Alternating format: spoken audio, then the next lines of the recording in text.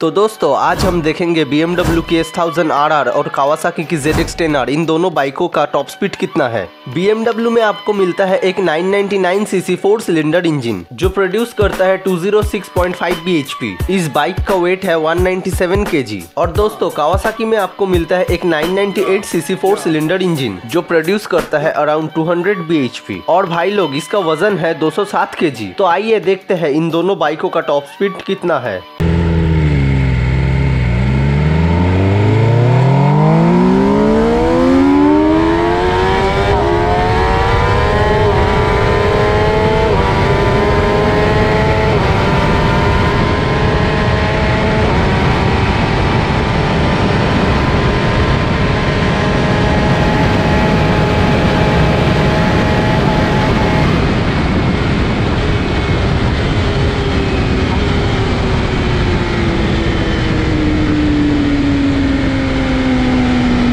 तो ये था आज का वीडियो गाइस अगर आप लोगों को ये वीडियो पसंद आया तो प्लीज़ लाइक कीजिए शेयर कीजिए और सब्सक्राइब कीजिए मेरे चैनल को। और दोस्तों, आप लोगों की फेवरेट बाइक कौन सी है, वो मुझको कमेंट सेक्शन पे बताइए। थैंक्स फॉर वॉचिंग गाइस मिलते हैं एक और नई वीडियो पे।